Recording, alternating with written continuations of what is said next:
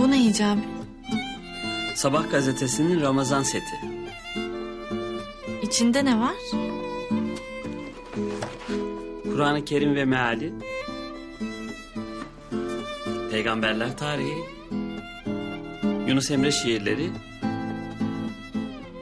Ve çocuklar için peygamber öyküleri var.